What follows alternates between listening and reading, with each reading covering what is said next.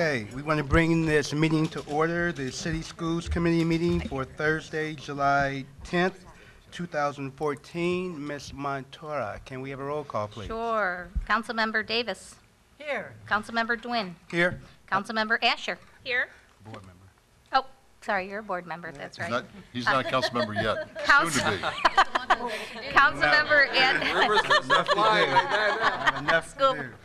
Councilmember Atkin is excused. Councilmember Brinkman. I am here. Okay, Councilmember West is excused. School Board Member Affeldt.